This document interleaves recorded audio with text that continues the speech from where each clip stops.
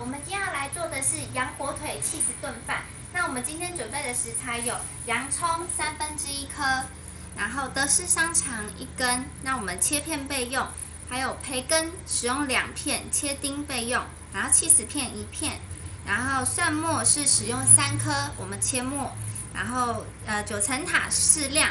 跟辣椒还有奶油，这些都是适量就可以了。那调味料的部分就是盐巴少许，跟鸡高汤一杯，还有黑胡椒适量。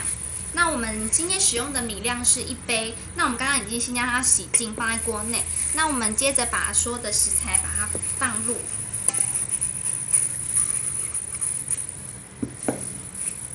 然后这是德式德式香肠，还有培根。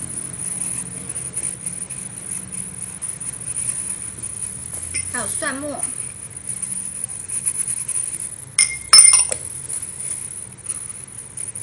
跟九层塔，还有辣椒，还有奶油。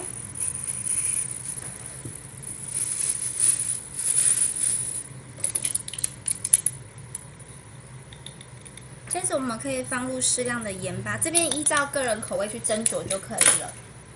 然后鸡高汤一杯。好，那我们现在可以把我们放到锅内，然后我们盖起来的时候安全锁要锁起来。那我们今天使用的是呃香浓米饭的功能，那预估完成分钟数是十四分钟，按一下开始，这样就完成喽。好，那我们现在已经完成了。我们先将安全锁解锁，然后接着打开。那我们现在的话，就可以把我们准备的气死丝把它放下去，